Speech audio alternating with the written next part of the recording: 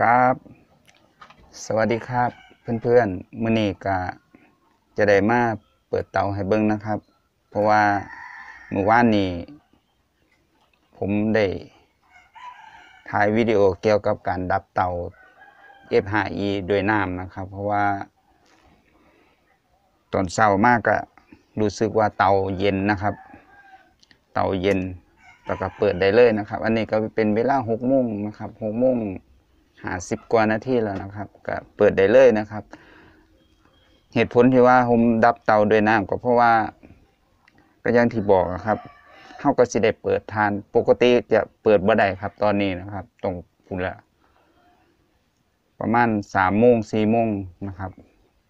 ถึงสิเปิดได้แต่นี่อันนี้เปิดได้เลยนะครับ เย็นนะครับ เราเฮาก็สิได้เอาไม้เขาเตาหรือว่าเฮ็ดงานต่อไปนะครับมื้อนี้ก็สิได้มาเปิดเตาให้เบิ่งนะครับ ครับเต่าถ่านเฮาครับ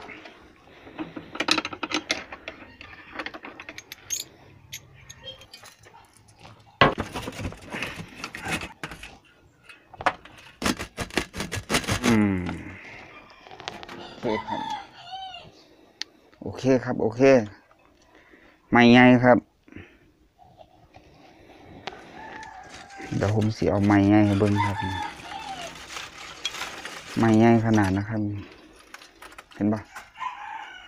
ครับ ระดับนี้ใหญ่นะครับ ครับ ผมต้องเด็ดถอดอัน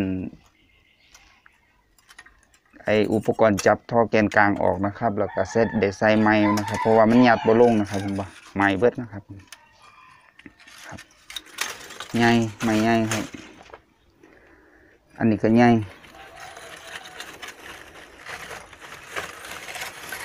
หักครึ่งซ้ำครับบ่